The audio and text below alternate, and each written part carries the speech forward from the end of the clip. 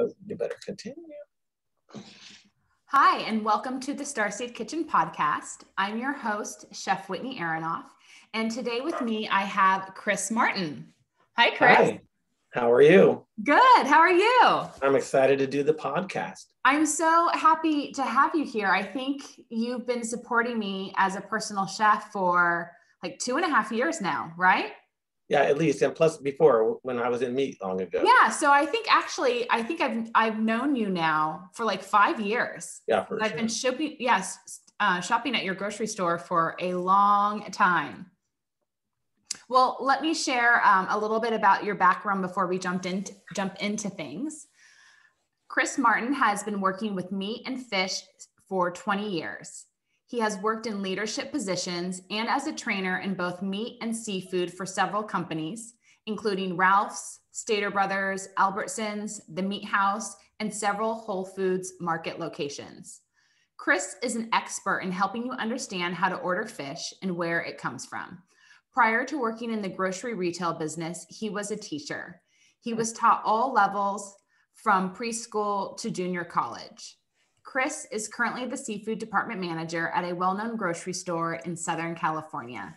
And with his teaching background, it is so perfect that you educate us today so we can become better informed consumers and you know much easier to work with when we are ordering fish it, it helps the, the, the teaching background helps you know in the job especially Absolutely. when something as complicated as seafood well and hopefully I, I you definitely have the patience um, because i know uh, it's really easy to get worked up when you're trying to order order something you don't understand and um, right. everyone has different ideas of what certain food and cuts are called so yes i'm so happy to have you on here today Perfect.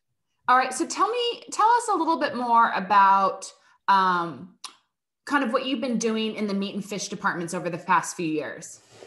Uh, well, um, I started out in a Ralph's um, just out of necessity. Uh, some time ago, I had some experience with Ralph's in high school, and then I went back to it because it's what I knew. And then I kind of just started working the whole store, different departments. But I came to the meat and seafood department and got taken under the wing of a, a meat manager who who's really cool. I'm still in touch with today, as a matter of fact. It's, he's really cool. He, he had a, a, good impression on me, and he showed me a lot of things, taught me a lot of things, and just his customer service and his knowledge about the product um, and all the things he taught me. I really appreciated, and I, I kind of took interest in it. You know, growing up as a as a child, I fished a lot, and I worked on a farm. I uh, in high school, I was in the FFA, the Future Farmers of America. No way. And, uh, yeah, yeah. So like I slaughtered my own animals and and grew gardens and sold meat and vegetables and I sold eggs in the neighborhood. So it's kind of always been all around. So yeah, um, going into the grocery retail business and just knowing the product and the animals, always wanting to learn. It's just an exciting field for me.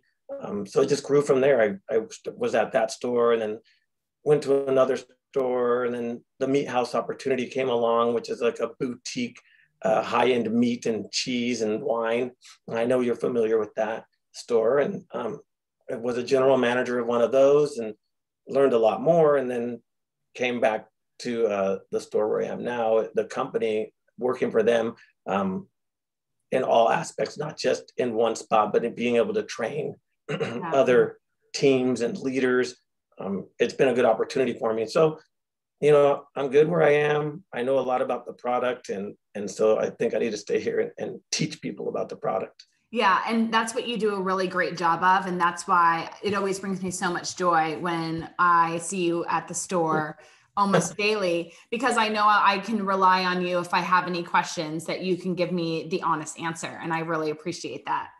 Well, that's the crazy thing about everything, not just seafood, but food in general. Like for yeah. me, like I don't know a lot about cars. And so when I go to the mechanic or I'm going to go get an oil change, I have to trust that the dude is telling me the truth. You know, oh, you need an air filter, or you need to, I, I have no idea. Whatever you say, I, you know, I'm trusting that it's correct. And it's the same with you coming to see me or any customer. Like yeah. you don't know what I have, you don't know where the fish is from. You may know what you want, but you're not exactly sure what's the best thing to get. And so building that rapport with your fishmonger or your meat guy, it's kind of important because you have to trust me uh, or whoever you're dealing with behind that counter to, yeah. to ensure that you're getting a, a quality product.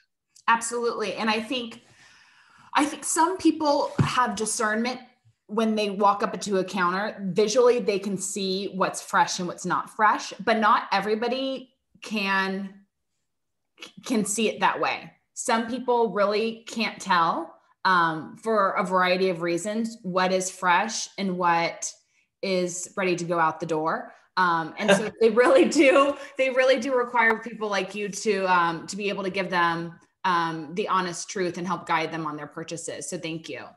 Well, that whole fresh term, we got we got to talk about that because okay, when folks come to me and they'll ask me, "Is it fresh?" That that question bothers me a little bit, only because there are two things. Number one, I'm not allowed to put something that's not fresh into the case. So if in if it's in a case, assume that it's the best product that I have. I'm not going to put out something that's old, even if it's a day old or half a day old. If it doesn't look good at my particular company, I'm not allowed to put it out. Okay. So I can't put it out. And secondly, the word fresh to me and to meat guys means that it has never been frozen. So if you ask me if it's fresh and it's shrimp, I'm going to say no, it's not because it's been previously frozen. So I think terminology is a huge, huge thing at the counter. And just okay. know that like yeah. you may see something and it might not look the greatest. And you can always suggest oh you know what? I'm not very happy with that piece. Can I have another piece? But just know that everything on my pan that i chose to put out um, me personally for sure but it's supposed yeah. to work that way for everybody. It has to be the best that i have that day. Got it. So just so we can help the consumer better understand um, and because I'm curious if this is true. So when I was in culinary school, they told us that basically nothing is fresh from the sea unless you caught it yourself. That by law, all the boats have to immediately put the fish on ice, and certain things need to be immediately flash flash frozen on the boat. Is that correct? Right, that's correct. So not everything is frozen, but everything is put into a deep chill. So because it can't sit on the boats are not returning as soon as they catch a few fish. They're going to be out there all day. So it's going to have to be deep chilled. And that's because all the uh, raw products and raw materials, they have to be kept, you know, out of the danger zone with a cooking danger zone. I know you're well aware of. So it's going to have to be below 41 degrees and it doesn't have to be frozen, but it has to be kept below 41 degrees and it has to be brought down to that temperature within a certain time frame. Mm-hmm. So there goes another thing, like you have to trust that I'm keeping my fish below 41 degrees all the time. From the time I get it from my back dock till the time it's in my cooler, I'm moving it in and out of the case. Like you're really trusting a lot at the yeah. counter. Yeah, absolutely. Okay, so somebody catches our fish. They're usually out at sea for all night or all day. Um, once it comes back into the dock, what's the process of it then getting to our grocery store? So there's a number of different processes and it all depends on the particular fish. There's a, several different areas where the fish comes from. It used to be most of it went to the LA fish market and people would come and pick and choose which fish they want. But it doesn't happen like that for us at, at this point anyway. Um, fish gets flown in from faraway places like Iceland or Greece. We get fish flown in from there. Um, and those trips typically are, are overnights, but they take several hours, as you know, to get from those countries to us. Um, then fish is also brought in from a number of uh, private fishers that we work with. We work with folks that, like the guy that catches our our black cod or our sable fish. Like we know him by name. He catches our fish. His boats bring the fish to us, and you know we pick and choose them. And then other fish it just goes to um, our distributors that we use.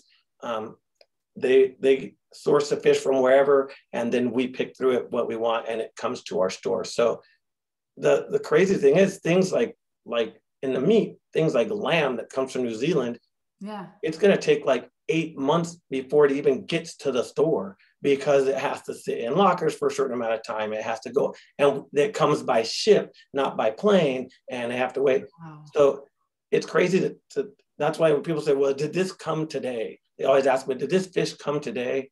The answer might be, yes, it came today, but it was sitting in that cooler in my warehouse for two days before I got it. And wow. just the same amount of time as the fish I got yesterday or the day before. It's the same age. It didn't, I didn't catch it, get to the distribution center and get to my store all in the same day. That didn't happen. Wow. So that's why when I buy fish, I really need to cook it within 24 hours. Yes. I mean, kind of like, and that's it. You, you can, you can keep it like, you have to remember like a long time ago before like refrigeration and stuff like that, we would eat stuff, you know, seven days old or whatever. You can, you could eat anything, right? Like they ask me, well, how long can I keep this in my fridge? I have to say like three days maximum. Yeah. But in my, I'll eat stuff if it's a week later, as long as I'm keeping it proper. But you have to know that once the oxygen hits it, you know, it's going to diminish in quality um, and it's going to diminish in taste. It's not going to harbor any more bacteria if you're keeping it, you know, in a proper temperature. It's not going to get new parasites because the fish is going to have parasites already. It's not going to get any, that's not happening. But the quality of the product is diminishing and you can get bacteria growth if it's not in temperature. But it's now, not going to kill you if you eat it five days instead of two days. That's really interesting. So why does it smell worse five days later than it does on day two? That's because it hasn't been unless you have some kind of pro refrigerator that refrigerator is not maintaining your product at the optimal temperature like you think it is every time somebody opens the door. And sometimes my refrigerator doesn't even close all the way. And I look and I go, oh crap, it, it's not even closed. Yeah. So, and there's stuff in there. So as that's happening, what's happening is that product is breaking down. The proteins in that meat are breaking down and they're going to start letting off gases like ammonia and stuff like that, that you smell. And that's what you smell like. Fish shouldn't smell. When they say fish shouldn't smell, it's because if it does, that it had time to break down um, in the oxygen. And when you smell like a seafood counter, like when you go to a store, like I'm always upset when my seafood counter smells bad because it's not the fish that smells bad, it's that it underneath it didn't clean it well. So if my night guys or somebody didn't clean it well, maybe there's a shrimp down there or something, and then that's what you smell. Then everybody's like, "Oh my God, your fish is horrible." Got it. Yeah. And when I come to your counter, it never, ever, ever smells. It better not. yeah. There's definitely places I've walked into before and yes. you're horrified by the stench. Yeah. If you can smell the seafood counter when you walk in, yeah. probably don't want the seafood. And it's not, like I said, it's probably not their product. It's yeah. probably their case. But if their case is not clean, and that's telling me something about how they're maintaining the product, if they're not maintaining their case, and it's probably not very good. So when you first transitioned from meat to fish, what were the things that you learned that really surprised you? As just uh, when uh, when you think about it as a consumer and someone that eats fish and shellfish, what did you learn that kind of sh- shocked you and you wish you had known sooner? Well, not that I didn't know, but how important it is the the shelf life of the fish. It's so much more delicate than the meat mm-hmm. and keeping it separate. We have certain rules on where certain fish can be and you know how long it's going to last and so it becomes very difficult to order because i'm going to throw away fish that's just going to happen and i don't want to do that so i have to make sure that i'm ordering this delicate product that's going to have a short shelf life and knowing how much i'm going to sell um, it's kind of like a, a really difficult dance to make. So that's the one thing in that transition that was a lot different. Um, and I should have been prepared for it, but I wasn't. It was kind of it was it was something new to learn. So what happens when you have to what happens when fish is old? Is I mean, is the option is just the trash? So here's a couple of things that happen. Number one, I've been in companies that will still the fish for one day and then marinate it because it's not going to look great to get a couple extra days out of it. The company I work for right now, we're not allowed to do that. So all of our marinated stuff is cut from the fresh fish that we get in. So it kind of sucks because some people who've been to other markets, they'll they'll know it as that. So they'll be like, "Oh, your marinated stuff is old." No, it's not. It's, it's really fresh. So um, but when the fish does get old and it's on its last leg, and we're going to throw it out, there's a couple things you could do. It can either be cooked, and sold as a cooked product. So if you have an out in the store where, say, um, prepared foods, or we used to have a big salad bar where we could make salads and stuff in the store, all that stuff. Um, or it can be donated. We do have a, a company that comes to our store every day and they take donations from every part of the store. And if it's something that's good enough that I can get to them that they can freeze, then they'll take that. Or if it's a frozen damaged product, they'll take that. And they're right across the street. So it's a cool company. Yeah, that's wonderful. That's really nice to hear. The, but the bad thing is there's a lot thrown out. It's really important to order correctly and to sell mm-hmm. properly. And then you've got folks, I think a lot of folks come to the fish counter thinking it's like a restaurant. You know, when I'm at a restaurant, I'm getting like a six ounce piece of salmon that's pretty uniform, but it doesn't come like that. So, but that's what they're going to ask for. So all the rest of it is going to get thrown away. And so I've seen that starting to drive up costs because, mm. you know, we're not able to use the whole animal and we should be using the whole, the whole animal. We do cut, you know, we'll cut our salmon tails off because most people don't want the tails um, and we'll grind I'll take your tails. Yes, they're the best part. I don't know why people don't want it. Yeah, I like the thinner piece anyway. So yeah. I'll start I'll start asking for the tails for myself. So I can help your cost. Um, yes. and I'll save the pretty pieces for my clients. Yes, there are no bones in the tail. Um, it's a better piece. I've heard people say it doesn't it doesn't cook right. And I always think you don't cook right. That's yeah. It cooks the same. It cooks faster. Yes, you just have to know how to cook. Yeah, and I actually think I prefer it because it cooks faster. And like yes. for instance, if we're going to talk about salmon, I like my salmon cooked all the way through. I'm not someone that likes it a little raw. Yes. So I think the tails are great because it's easier to cook it all the way through. And then it's great to just, you know, if you don't want the skin to peel it right off the skin and, you know, put it in a taco, you know, put it in a tortilla for a taco, put it on a salad, eat it as is. It's great. Yes, I agree. So good. I'm going to chalk you up for some tails next week. okay, so what's the best time of year for me to have salmon? Well, really now, um, it's kind of crazy. It's kind of all year, which we're seeing. Um, like I just got a shipment of fresh wild king salmon today. Typically, there's a season for like yes. wild salmon, and that is not now.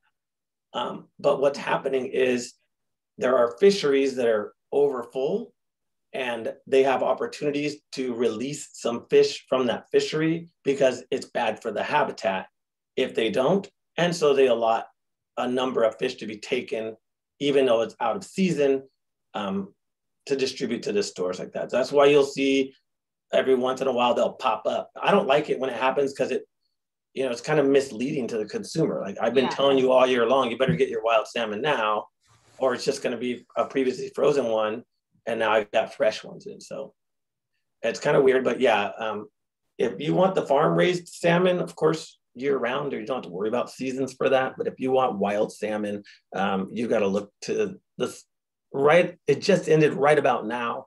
Um, it should go April through um, like now, like February, January, February. So let's talk about what's really happening with farm fish versus yeah. wild fish. because I think a lot of people really think wild is wild. And from what I was educated with in culinary school, there's a lot of fake wild fish. Um, and then I think there's a lot of different things happening in the farm fish. Um, so let's let's kind of try to break that down the best that we can. Okay, for sure. So I get a lot of folks that want only wild caught fish.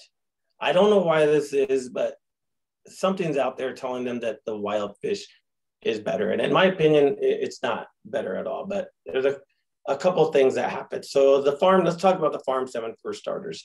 Uh, the farm salmon um, is is a highly sustainable animal because we're farming it, right? So that that's a good thing. And we'll have to talk about sustainable later, but that's a good thing. Uh, people talk about, oh, I don't like um, that there's color added. So, or they think that the farm, uh, the animal is like raised like in a bathtub or something like that, or in a box. And that's not the case. So, the farm salmon, the farm that we use, um, they have floating nets in the natural environment where the animal lives normally. There, these nets are large, they have a lot of room to swim around.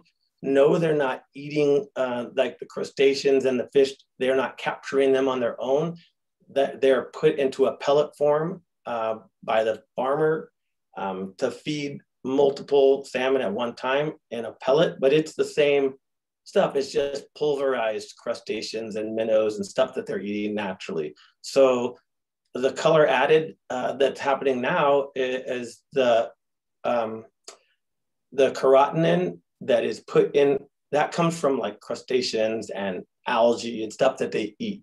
I call it um, I call it like carotenoid because me remember that makes a carrot type color. Yeah. But that's a pigment that's in crustaceans and small fish and algae or shrimp that they're going to eat, right? So the salmon, if they're not swimming around eating that stuff, some salmon, um, like there's their meat would be gray. It would be not pleasant to look at. So it's not particularly the Atlantic salmon that's farmed that's gray. It's any salmon that's not going to eat that stuff, right? So if they're the wild salmon is eating a whole bunch of it, especially the areas where they go to spawn, they're fattening up, they're eating a lot of it. So that's why they get that color. Some wild salmon, as you know, because I know you bought some, it doesn't have that color, uh, like the, the ivory king salmon. Yes. And that's just because they have a recessive gene. They're not able to uh, store that pigment into their flesh like the other salmons do. So they're white in color.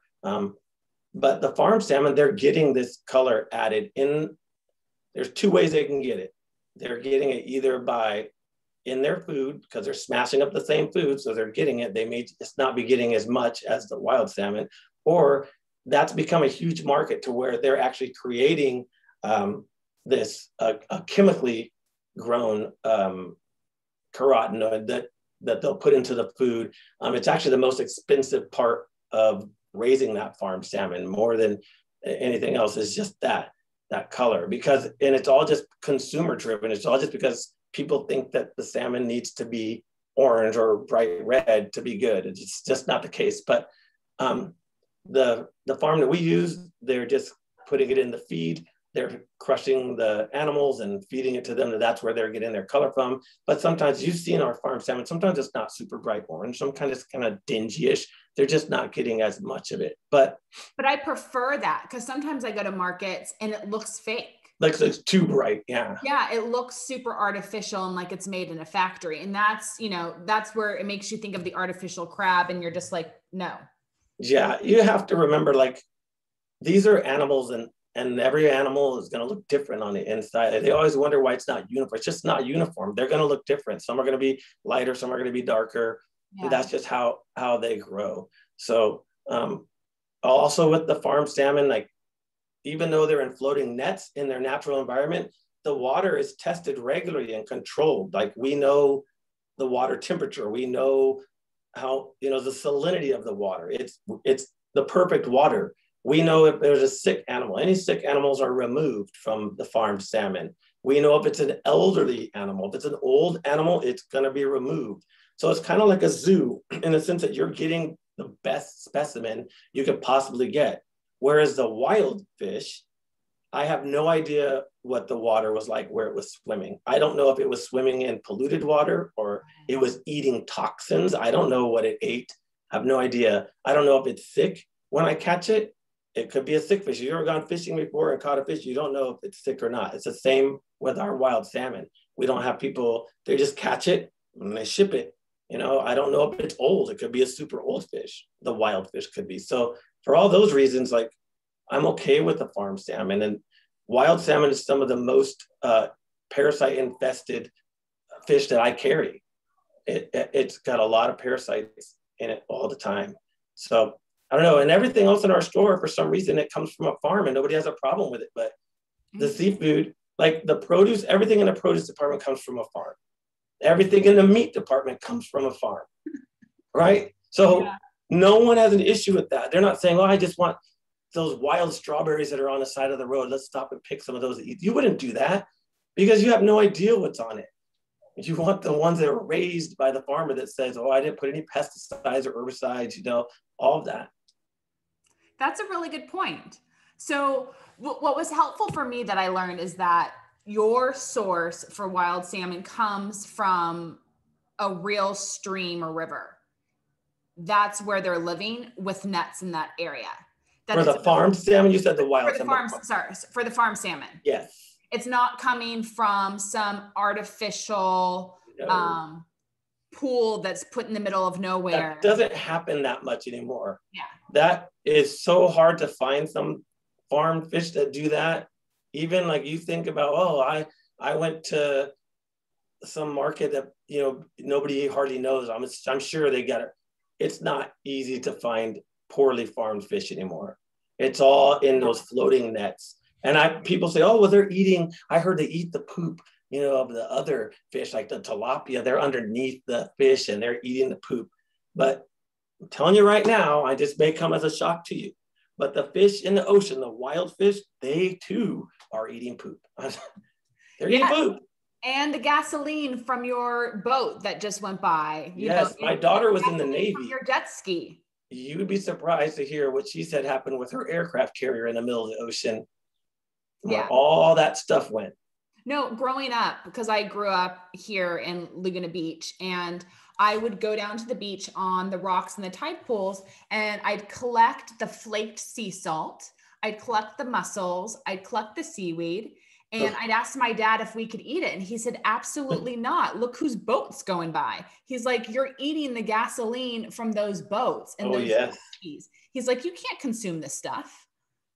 Yeah, you know, the plastics have become a big problem. And that's another thing people talk about with the wild versus the farmed is PCBs, which are, um, you know, and they're small micro type plastics that just go into the sediments and, and then the small fish eat them and then the big fish eat the small fish and then we eat the fish and you know we're we're pulverizing the feed the smaller fish to feed the farm salmon so there have been studies that show you know they have a lot of pcbs because they got all that but there's real no study to show me how much the wild salmon is eating. They could be eating more.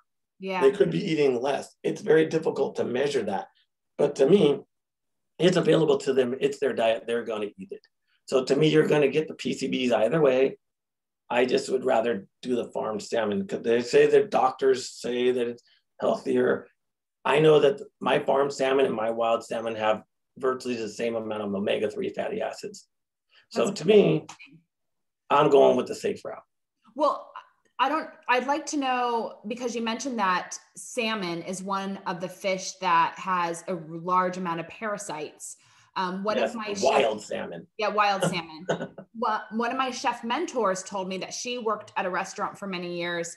Um, and the swordfish, the big pieces of swordfish would come in and she'd slice it open and it was littered with par- parasites. And sometimes they'd find trash in the belly.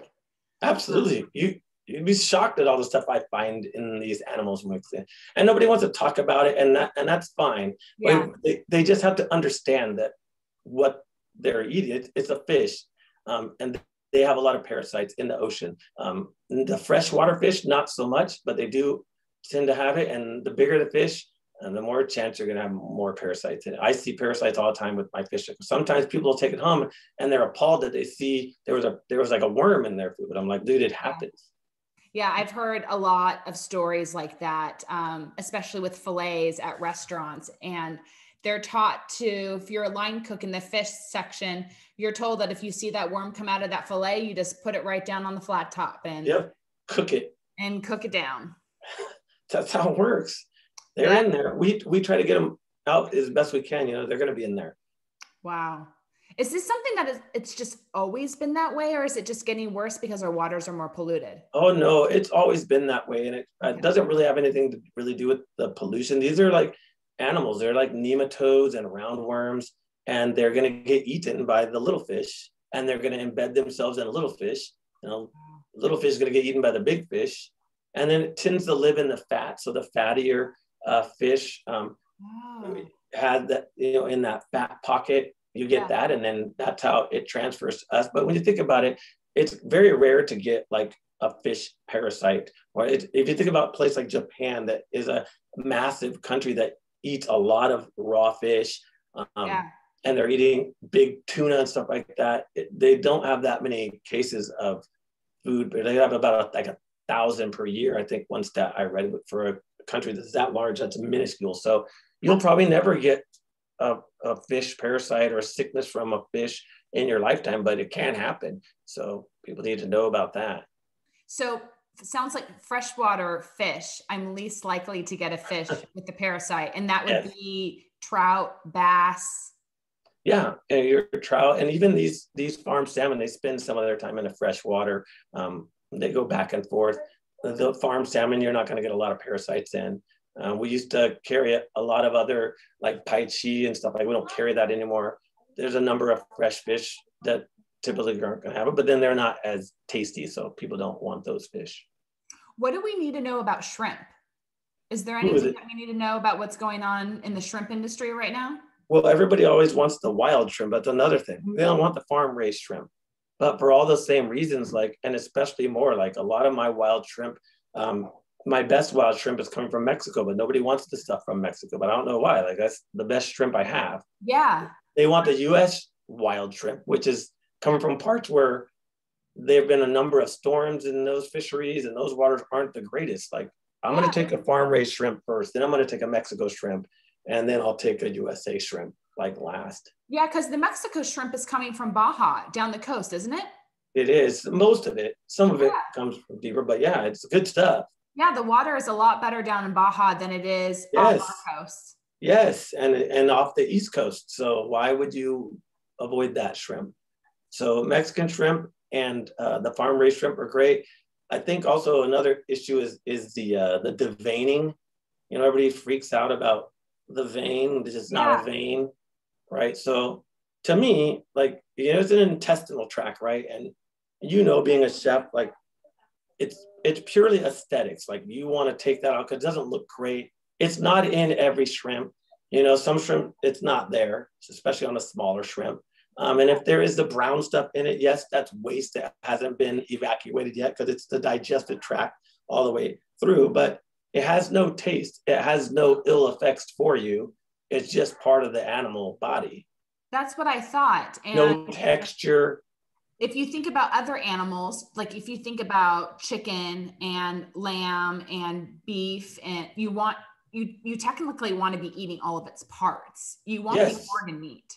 They're um, eating you know, that you're not going to like take the chicken liver and like take everything out of the liver, wash it out, and then eat the lining. You you eat the whole thing. Correct. In order to get all the benefits. So yeah, to me, that whole I don't think it's necessary to devein. And then they're like, oh, there's one on both sides. There's not. So there's parts in that shrimp. It, it's a siphoning animal, so it's going to siphon stuff through. So it's it's going to sometimes be crunchy. It's going to with sand particles in there, or it's going to have that that digestive tract. But you're going to cook it like you're good. Just cook it up, and you're good.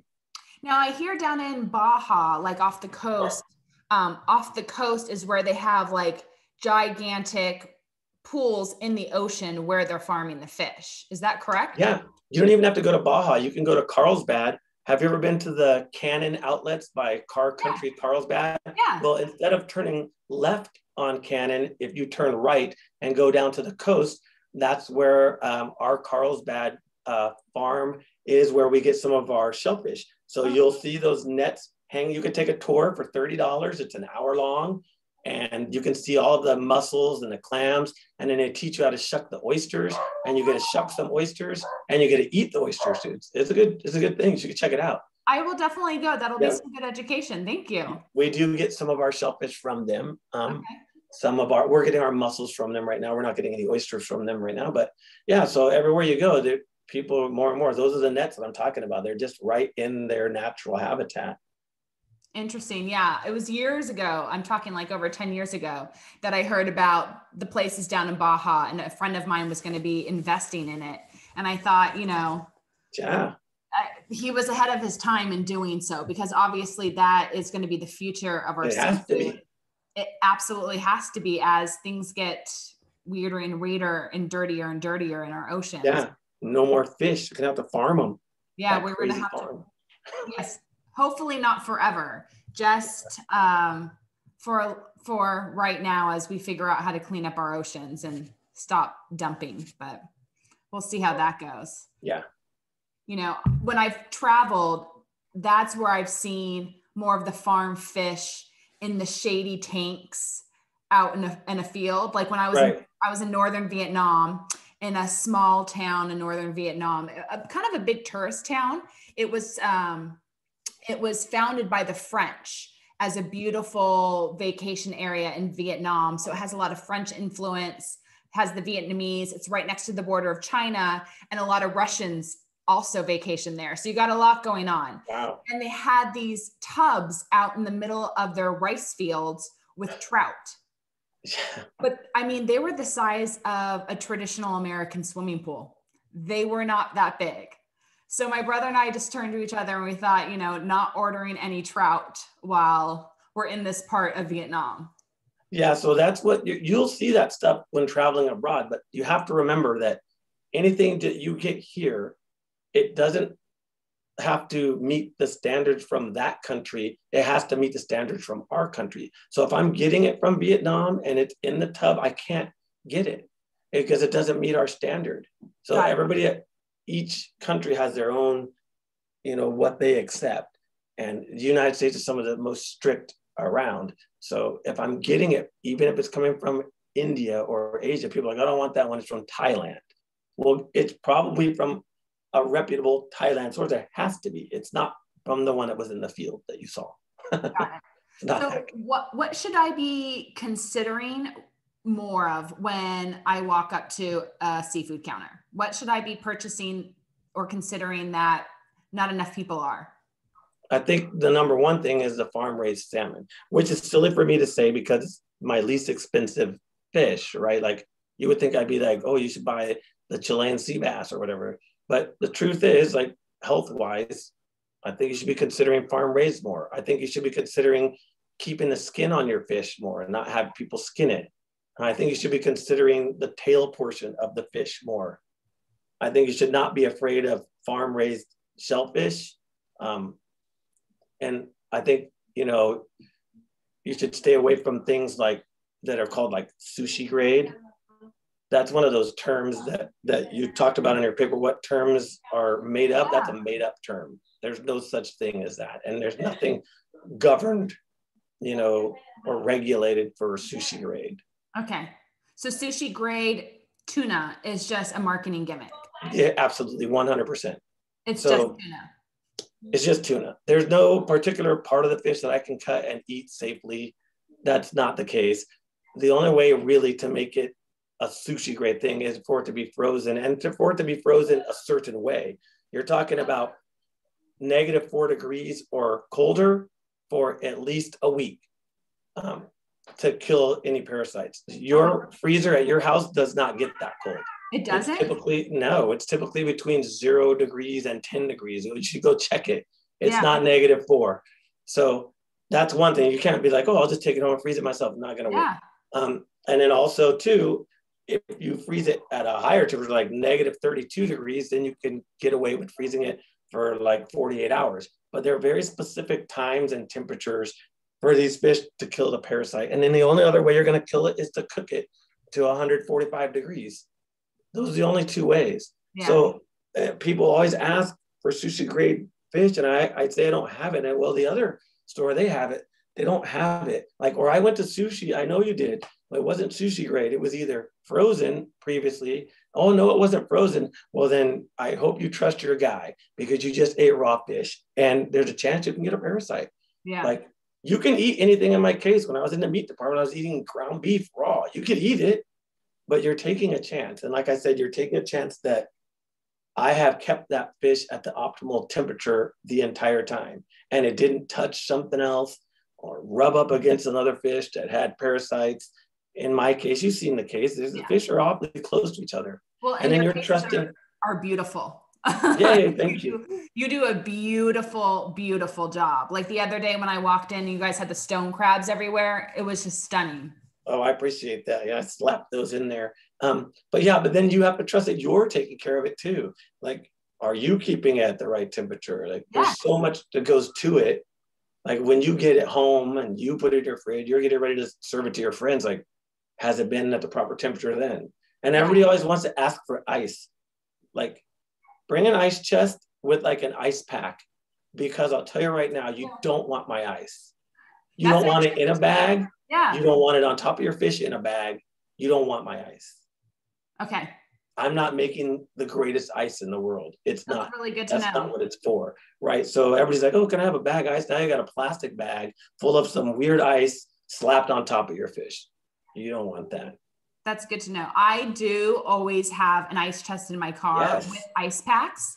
Absolutely. And I take the ice packs and I put them inside a zip uh, a freezer Ziploc bag because the ice packs are actually delicate. And if you drop them, there'll be a crack and that goo will oh, come out and go yes. over your food. So I wrap them up just in case. And, and keep them in a Ziploc. That's a good idea. But yeah. yeah, you should bring, if you're concerned about the temperature of your products, bring an ice chest with some kind of ice pack in it. Yeah. It's, it's not 100 degrees outside. You're fine to. Go. But uh, if you're concerned, buy some frozen vegetables and put that. Yeah, on. Yeah, and the other thing that works really well is if you buy the frozen bone broth. Yes. works incredibly well as a long-term ice pack. It does. Yeah. So bring ice. Don't get my ice. You don't want it. That is a really, really good tip.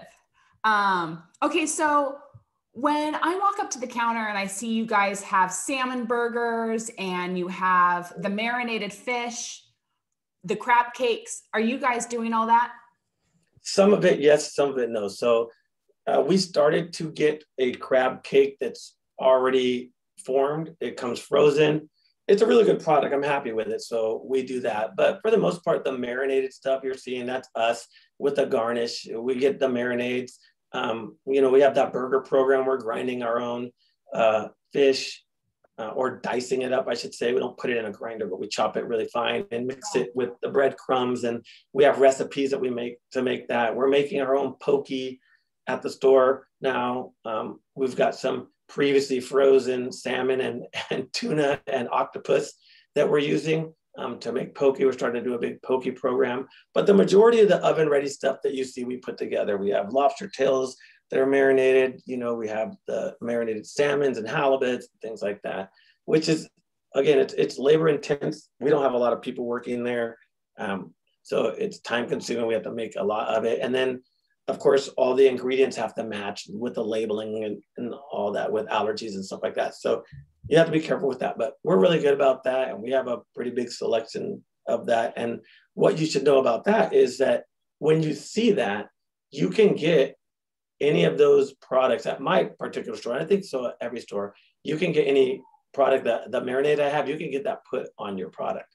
So like you could be like, well, can I have some halibut with some of that teriyaki sauce on it? So you don't have to take what's in a case. You you want something else marinated the way that you see some other marinade then we can do that. So you can't be afraid to ask for something that might be cool that you want because we, we're going to do it.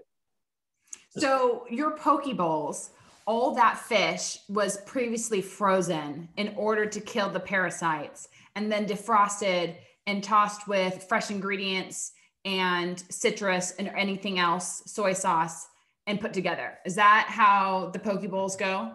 So you remember the poke bowls when we used to put them together like all the time with all the stuff on them. We don't do anymore. We just have sometimes in a pan.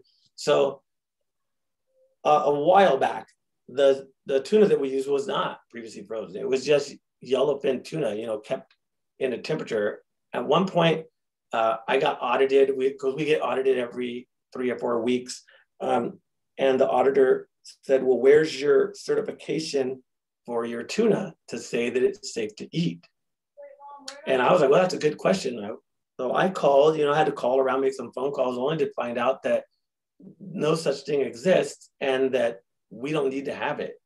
And oh, wow. it turned out that we didn't. The only fish we needed to have it for was salmon. That we had to be able to prove that the salmon was frozen uh, and then defrosted. That's what they use in the sushi on the Kika side.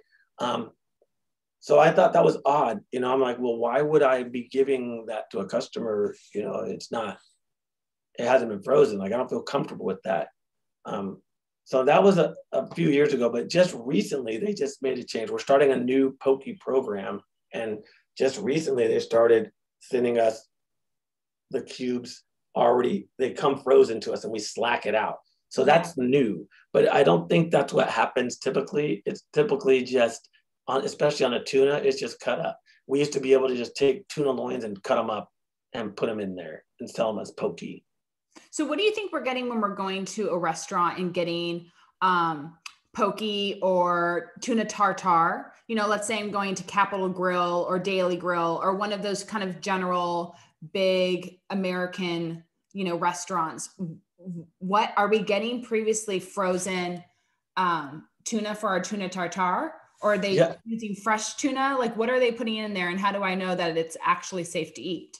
Well, I think it depends on where you're going, and there's a lot of those um, those stores popping up, you know, around like the poke places, poke bowls. I think one, if it's if it's a nice cube and it's like a high end kind of place, you're probably getting fresh tuna. If it's a place that is like a lunch crowd rush place where they have to go through a lot, and it's have you seen the grinded kind? It looks like like ground beef. Sometimes it's ground up poke. Yeah yeah. that's probably frozen. So I would ask, you know, are is this, you know, fresh tuna or has it been previously frozen? I would ask, but if it's bright red and it looks moist, it's probably fresh. Okay. And what I want, because this is a new way of thinking, what I want is the frozen tuna because that way it will have killed the parasite. I mean, that's what I would want. If I'm going to yeah. eat it like that, and you can, like I said, you'll probably never get a parasite or a sickness from a fish in your lifetime. It's not easy, um, but you can. So why take a chance? If you don't care about doing it, go for it. It's cool. But if you're concerned about that one time, it's always me. That's why I'm concerned. Always that one time, that one thing that happens is going to be me. So I'm not going to take the chance. So, what are you actually purchasing from a fish and seafood department? What do you like to buy and take home and prepare for yourself? Well, the funny thing is, I don't buy any fish and take any fish home, uh, only because, well, a couple of reasons. Uh, I have a daughter who has some severe food allergies, and so there's certain things I can't even have in my home um, out of safety reasons. My wife, she doesn't eat any seafood, um, and and she doesn't like the smell of cooking seafood, so don't want that around. So uh, I, I don't bring any fish home. I do try to, you know, every once in a while. My birthday was just last weekend, and my oldest daughter took me to a seafood place. So we ate a whole bunch of different things because she knows like that's the only time I'm gonna get to eat it. yeah. so we ate a lot of different things. I like the shellfish. I like the oysters. Um, I like crab cakes. I like to sample the stuff, and then but you know I kind of know what they're getting, so I know what I should get and I know what I shouldn't get. And we had some okay stuff, but I've I found like fish restaurants to be kind they've become like uh, not as good as before. I think there's less um, effort into getting the best product. Um, now they're just trying to get product to, to make, you know, to make the money. They have to make the money. And uh, no matter what, how good your chefs are in like, I went to, uh, what's it called? The King's Fish House. It used to be, it used to be really, really good. Um, and we found that, you know, some of the stuff was not as great as it used to be before. So I think it's a product a product thing. They're getting a lesser quality product and um, they're spending less on how they prepare it because they have to make money. You know? Yeah, people still aren't comfortable with higher prices, even though right. you know we're trying to educate people on what it takes to cost wise to send a group of people out on a boat to catch the fish properly yes. store it, bring it back, and then how many other hands that it goes through in order to distribute it and sell it to you or put it on your plate. Um, a lot of people touched it and supported that process, but yes. people are still expecting, you know, fast food prices. It's just and not going to work. It just doesn't make any sense. That's why we don't have the Bronzino right now because the fuel prices getting it from Greece Wow. They're so high, and the worker shortage is so great that we can't get the product. We've been yeah. trying until we just can't get it. Yeah. Is that why you guys have a lot of trout? Yeah, that's that's why you see a lot of trout. That's all right. Now I know it's, freshwater fish is mm-hmm. good fish for me, and I'm going to get more comfortable with the trout.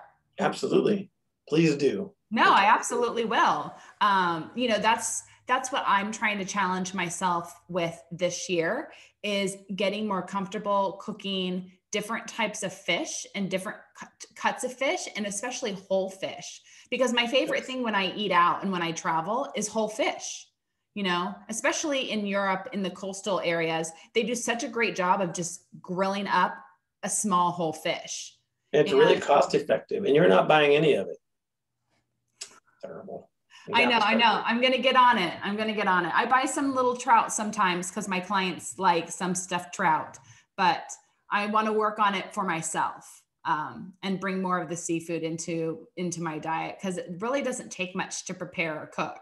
Um, no, it doesn't. Have to, yeah. You just have to learn a few simple steps, and you're good to go. Perfect. All right. So, how do you stay warm when you work in such a cold environment every day? I had to ask. You you don't. You kind of have to get used to it. Okay. The going in and out of that freezer, our freezer is negative 20 degrees wow. in the back. Our cooler stays at about 30 degrees, and then your hands are wet all the time. So, um, you know, going back and forth. And I actually get kind of warm when I'm moving around a lot. The cold people are the people that aren't working. So you get, I think I just got used to it over the years, being in the meat department and being in yeah. seafood. I'm wet and cold all the time. And I like cold. I do not like hot. I do not like sun. So I'm good with it. Other people aren't, and it's not easy, an easy thing to get used to. Yeah. 3:30 in the morning in that freezer is no fun. That's amazing. Thank you for yeah. your hard work and helping. Oh, I appreciate that. Yeah, yeah thanks. I really appreciate it. Um, and that's what I'm excited for people to learn a little bit more about you know the people that are helping you eat the way you eat you know? Um, you know i was um, i was the pastry chef at a restaurant for a year and i got in at five in the morning you know? I'd see the coyotes in the canyon on the way to work at like oh, 4 a.m yeah. Oh i'm well aware of that. Yeah. Um so, one other thing I just wanted to ask um, is how are you able to take care of yourself after you give and serve people all day? So, you spend all day prepping food, answering any questions they may have, and help them talk through what they're serving at dinner or how they're preparing something for a special event. You know, that's really taxing. What do you do to like refill up with energy? Well, that's a really good question. And especially at, at a time like right now, that I don't think folks know how difficult it has been for the food worker. Yeah. Like with all the COVID, like we haven't had a break. We didn't go home and work from home for six months. None of that happened. We were there. People are continuing to get sick on a daily basis. It's kind of scary being there sometimes because people in a store, your coworkers are sick or their families are sick. People are stressed out. You're yeah. dealing with customers who are stressed out. Um, and sometimes you don't, you know, you get treated poorly as, as a food worker. So this time especially, and I've been doing it for a lot of years, but the last few years have been very taxing and, and it's tough on not just me, all the people that are working there. And I don't think people realize how, how much of a beating that the food worker has gone through over the last couple years. And yeah, it's tough. So then I come home um, talking about it or thinking about it, and I don't want to do that you know, I want to have my own time. So you're right. You do have to try to find some time to wind down and just let it go and get ready to start the next day. But it does add up and it, it is taxing on us all for sure. Um, so remember that when you go into the, to the store to, because it's not an easy time right now. It hasn't been for a while. It's still happening at our store. We're still having sick people. Um, and then we had to come home and kind of live our lives. It's not easy. Yeah and there's still people that are going out to the grocery store that are still paranoid. It's very yeah. you know it's a crazy time. It is. And then they take out their their fear on other people. And unfortunately a lot of time on you guys. So thank you yeah. for showing up every day. I know i know it's exhausting. It is. And a couple of things that we didn't touch on before we leave that i think are kind of important yeah. Is, is, that Marine Stewardship Council? I don't know if you've ever seen those labels in our store. Yes. So, so that that company, the Marine Stewardship Council, they're like a nonprofit international organization that like fights to protect the ocean and the fisheries to make sure that the fish are healthy, um, the fishing practices are are good and are not destroying other habitats or other animals. And so any anybody that catches fish, they can be audited by the Marine Stewardship Council if they choose to be.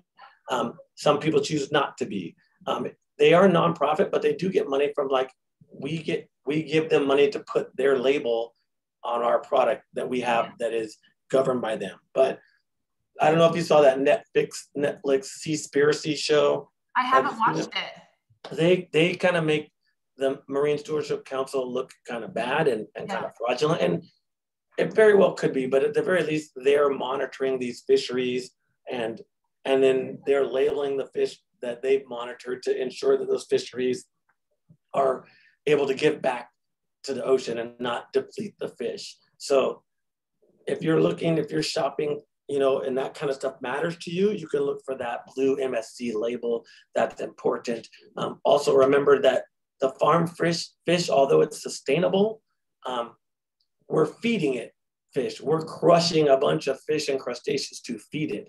So while that fish is sustainable, we are now taking away from another habitat. So maybe, you know, there's a catch 22 there.